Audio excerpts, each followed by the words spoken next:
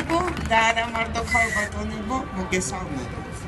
მართალი გითხრათ, ერთი წლის წინ ჩემთვის ვინმეს რომ მეთქვა რომ მე მიტინგზე სიტყვით გამოვიდოდი და ქალთა პრობლემებზე ვილაპარაკებდი, არ დავიჯერე. მაგრამ შემდეგ იყო სასტიკი შემოდგომა. შემოდგომა, როდესაც ყოველდღე მამაკაცები, ქმრები, ყოფილი ქმრები ყვავდნენ ქალებს და მე მივ რომ რაღაც ფუნდამენტური პრობლემა ჩემს გვერდით იყო და მე გამომეპარა. მე მივხვდი რომ 21 საუკუნეში საქართველოში ქალი ზოგიერთების მიერ ისევ აღიქმება ნაკლებად ადამიანად ვიდრე მამაკაცი, ხოლო ცოლი კიდევ უფრო ნაკლებად ვიდრე ქალი ზოგადად, რადგან ცოლი ზოგიერთის მიერ აღიქმება საკუთრება. დიახ, ეს არის ფუნდამენტური პრობლემა, ეს არის პრობლემა ჩვენი საზოგადოების და ამას ჩვენ ერთ ყველა სახელმწიფო და საზოგადოება უნდა დავუპირისპირდეთ. ხშირად ვამბობთ ხოლმე, რომ ქართული ტრადიციები, ქართული საზოგადოება და ქართული კულტურა პატრიარქალურია. ზოგს ეს ძალიან ეამაყება კიდეც. ეამაყება იმ უსუსური მიზეზის გამო, რომ თითქოს პატრიარქალური მსოფლმხედველობა და კულტურა ნებისმიერი მამაკაცის პრიმიტიულ უპირატესობას ვინმესთან შედარებით განაპირობებს. და ეს სამარცხვინოა.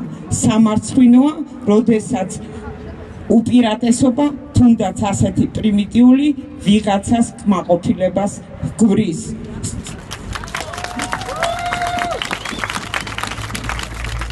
სწორედ ამიტომ მე და ჩემი პარტია ნამდვილად მომხრევართ, რომ მეტი ხალი იყოს წარმოქმნილი პარლამენტში და და პარლამენტს რო გადახედოთ და დავსვათ კითხვა უმრავლესობის ნახევარი მამაკაცების მაგივრად რომ ქალები იყვნენ განა ჭკუა აზროვნების ან დამოუკიდებლობის ხარისხის მიხედვით პარლამენტს რამე დააკლდებოდა ვფიქრობ რომ არა იგივეს ვიტყვი მთავრობასაც. და მინდა გითხრათ რომ დღესაც ამბობენ რომ ჩვენი კულტურა პატრიარქალურია და უნდა იყოს და იმათ ვისაც ასე მიაჩნია ვთხოვ რომ თვითონ ამ სიტყვას დაუკვირდნენ პატრიარქალური ანუ ნახევრად ქალური ჩვენ მხოლოდ თანასწორობას ვითხოვთ სამართლიან თანასწორობას და ასეთი თანასწორობა სწორედ ევროპულ საქართველოსში გვესახება.